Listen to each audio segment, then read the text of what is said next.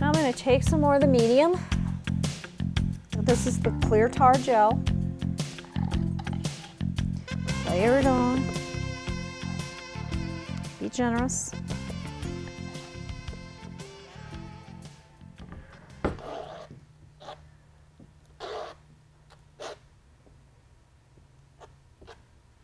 And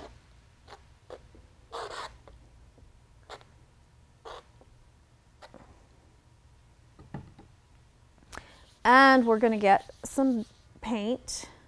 Now I'm going to use some different paints here. I'm using the iridescent gold fine and I'm going to use a iridescent gold deep and an iridescent bright gold. I'm using a magenta. Now this is this is in a applicator bottle that you would use for hair dye. Um, I've mixed Cheap Joe's Magenta and Cheap Joe's Portrait Pink in with a medium. Um, I've used matte medium, but it doesn't really matter what medium you use. So I'm going to squirt a little bit on here, just drops.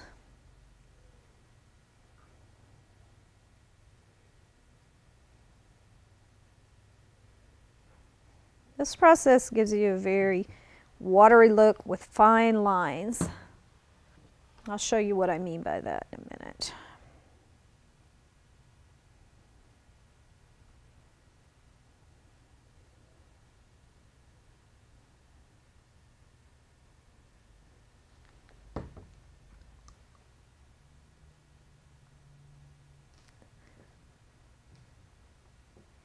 That's okay if it globs on there a little bit.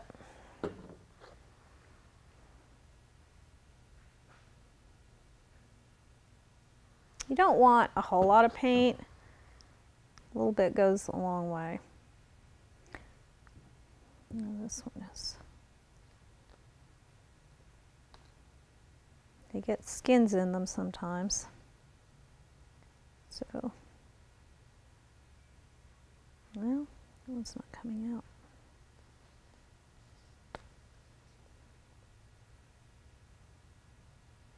It's being a little stubborn just a little bit of paint.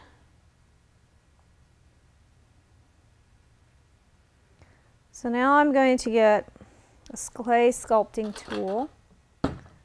So now I've got a clay sculpting tool. Now you can use a nail or a toothpick uh, or a fork. Plastic fork works great.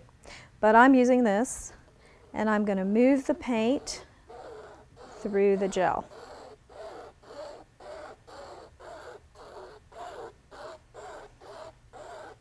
I'm to do that here. I'm just doing a demonstration, so I'm not going to spend a lot of time on this.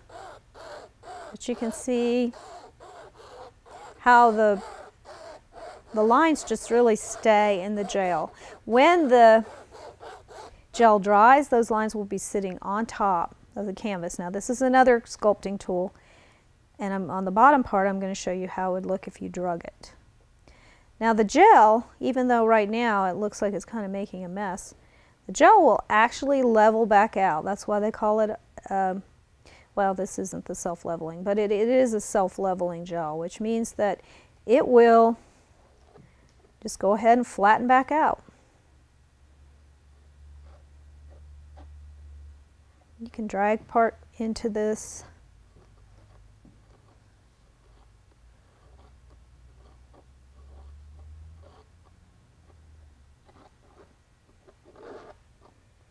So that's how that process works.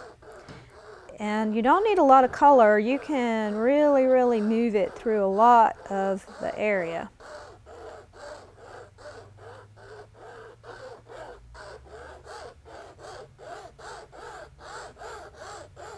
That gives you some idea as to how fun that is. Now another thing I wanted to show you was if you take your spoon or your, not your spoon, your um, palette knife. I'm going to get a little bit smaller palette knife. And you take the gel. I'm just going to put a little glob right there. And you take your palette knife and you get a little bit of this lighter color. I'm going to use the pink again. You come in here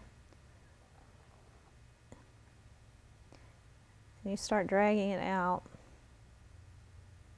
and it'll make little very thin areas. It really works but a little bit better with a bigger palette knife.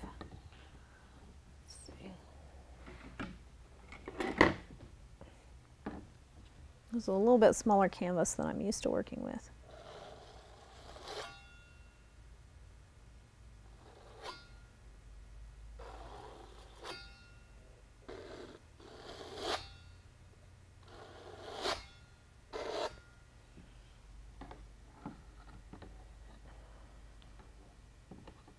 And remember the gel's going to dry clear.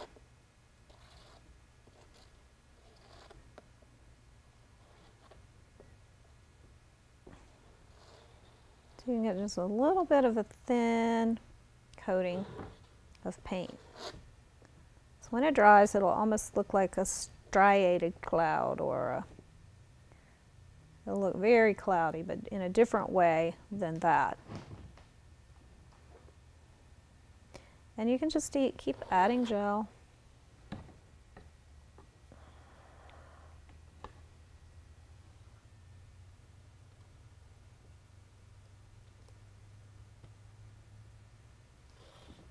And you can kind of make one surface go into the other.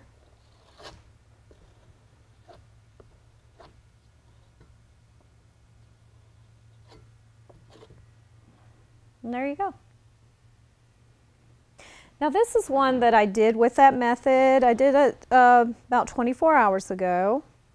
So it's dry now. That's about how long it takes, depending uh, you know, on your heat and all that. So this is the one where I put the gel down and I dropped the paint into it and drew into it with the clay sculpting tools, like I just showed you. This one is where I drug I mixed the gel with a little bit of paint and drug it through. You can see how you get some interesting little areas here. And this is the one where I use the spoon to move the gel, the paint through the gel. So that's kind of gives you an idea. This is just a sample board, but it gives you an idea as to what it will look like when it's dry. So that's it.